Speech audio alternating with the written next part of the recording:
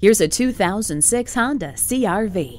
Standard features include traction control, rear disc brakes, side curtain airbag rollover sensor, and child seat anchors. And with a picnic table, this CRV is a safe bet for the whole family.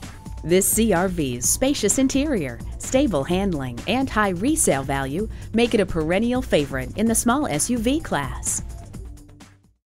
We're conveniently located at 3400 Highway 61 North in White Bear Lake, Minnesota.